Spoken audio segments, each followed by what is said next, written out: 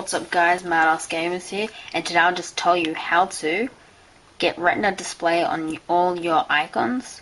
So as you can see, some of my icons still don't have Retina display because I haven't made the update for it. So all you do is to have to download a couple of things. All the things you need is in the description, also here. So just to save time, I just took a screenshot of Cydia. So you go into Cydia, download something called Erica Utilities right there iRetiner, and Mobile Terminal ISO 4. So remember, this only works with the iPhone 4 and iPod Touch 4.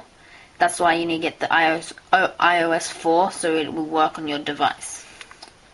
So after you've downloaded all of them, go into Terminal and just go and type SU and then return and it will ask you for a password. Just put Alpine, A L P I N E, and click return.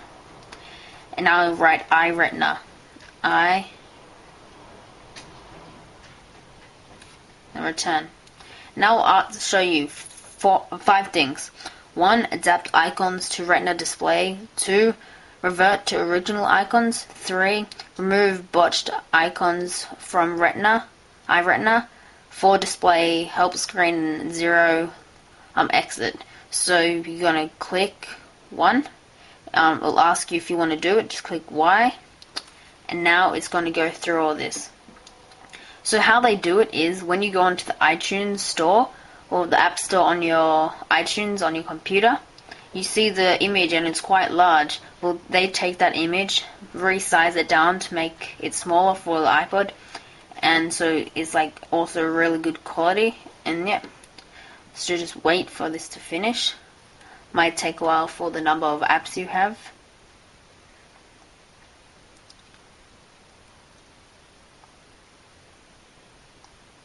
Remember to um, subscribe to us for some new videos.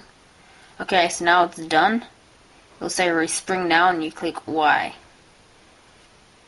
Okay now it's going to respring your device just wait and after that all your icons should be new or retina display and you'll have a really good looking iPod Touch or iPhone 4.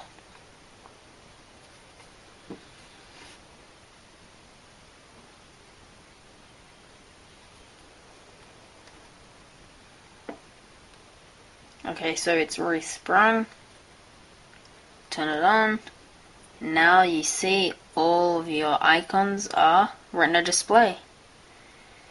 So it's really good because some of my really old apps, which I haven't updated in a while, or there hasn't been updates out for them, has Retina display, and it's just very good. Makes your iPod look nice and neat because there's no blurry icons. So if you like this video, just remember to rate, comment, and subscribe, and I'll catch you in the next video. Peace.